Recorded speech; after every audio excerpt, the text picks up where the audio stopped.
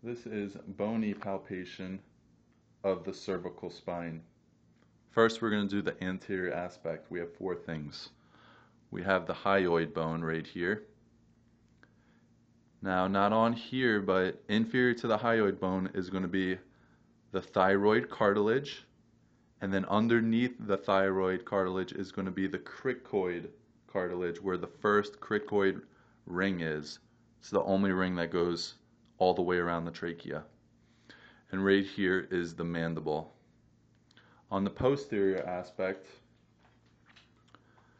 we have occiput, we have the inion, which is also known as the external occipital protuberance. We have the superior nuchal line, right here, right here, superior nuchal line. We have the mastoid processes right here, mastoid, that's where the SCM attaches.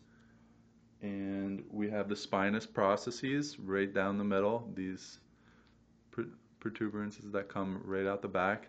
And then lateral to the spinous processes are the facet joints right there.